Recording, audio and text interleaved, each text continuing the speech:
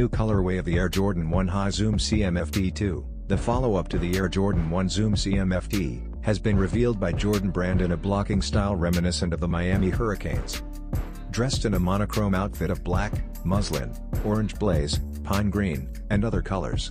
The Air Jordan 1 Zoom CMFT2 in this version features cutout swooshes on the sides and Zoom Air tongue branding in addition to being made of a combination of soft suede and mesh materials. The design is completed by freshly outfitted Formula 23 foam padding below.